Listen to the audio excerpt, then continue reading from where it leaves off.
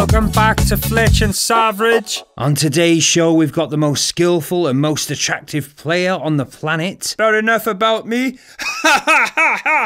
Our guests include Cristiano Aragontaldo, And Lionel Messagician. oh no, you didn't tell me he was going to be here. Only one more to go. Let's get stuck into some tweets.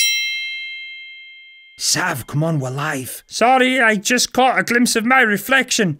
It's beautiful. Ha ha ha ha ha. Anyway, Mark7 asks Lionel, out of Cristiano and Sav, whose fake tan is the best? Um, Sav. Yeah! Sav, next question.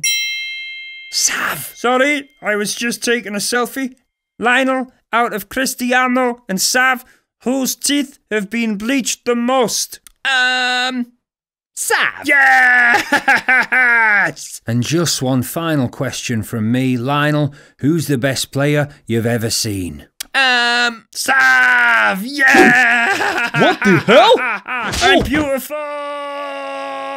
oh, what a douchebag. Who's going to win El Clasico? Comment below. And a massive thank you to everyone that voted in the FBAs because I won it. And I'll try and do a special video to say thanks soon.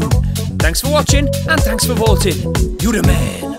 Or girl. Or, or woman. Anyway, bye.